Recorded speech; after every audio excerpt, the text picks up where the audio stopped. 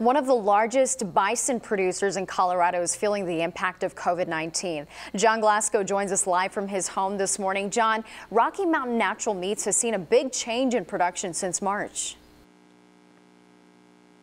Yeah, the CEO tells me in March they had production levels that were just skyrocketed, up 30%. Then some of their workers, they caught COVID-19 and that slowed down production at some of their facilities.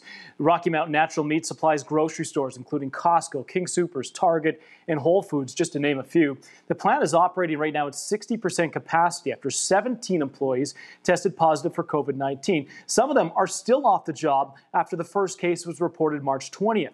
The company says it will process around 100 bison a day from the local ranches. Retail sales are up at grocery stores, but restaurant business is down 25%. The company says that there are lots of animals in the market, but plant production slowed down at their facilities. They're doing a lot of social distancing right now. And we're also seeing that at some of the bigger operations too. In our little world, there's not a break, but it's fragile because there's a limited number of facilities out there. And when one shuts down, it has a ripple effect, right?